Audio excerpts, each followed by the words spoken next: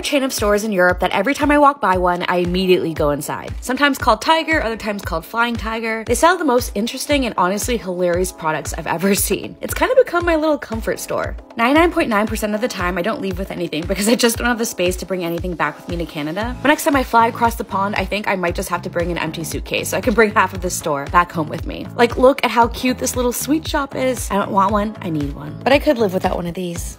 I would love to be sitting in or even just be a fly on the wall at these corporate meetings where an adult professional actually pitches to the team hey, you know what we should create and sell? A carrot sharpener or a parachute that you wear when you go on your run around the neighborhood or whatever this thing is. And I honestly want to be that person's best friend.